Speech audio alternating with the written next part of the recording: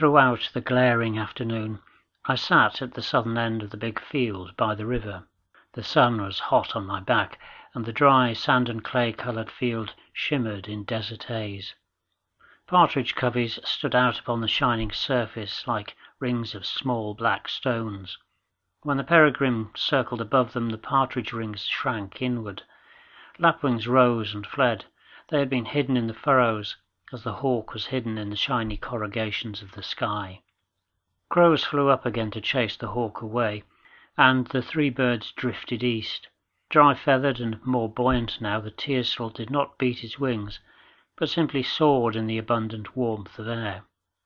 He dodged easily the sudden rushes of the crows, and swooped at them with waggling, snipy wings. One crow planed back to earth, but the other plodded on, beating heavily round a hundred feet below the hawk. When both were very small and high above the wooded hill, the hawk slowed down to let the crow catch up. They dashed at each other, tangling and flinging away, swooping up to regain the height they lost. Rising and fighting, they circled out of sight. Long afterwards the crow came floating back, but the hawk had gone. Halfway to the estuary I found him again, circling among thousands of starlings. They ebbed and flowed about him, bending and flexing sinuously across the sky, like the black funnel of a whirlwind. They carried the tormented hawk towards the coast, till all were suddenly scorched from sight in the horizon's gold corona. The tide was rising in the estuary. Sleeping waders crowded the saltings. Plover were restless. I expected the hawk to drop from the sky, but he came low from inland.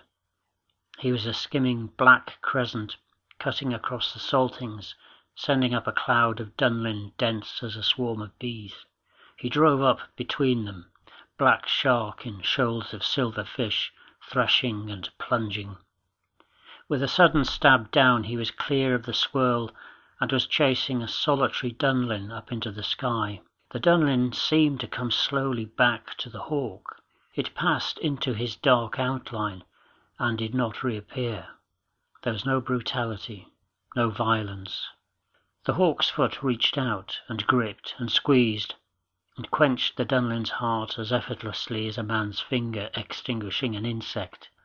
Languidly, easily, the hawk glided down to an elm on the island, to plume and eat his prey.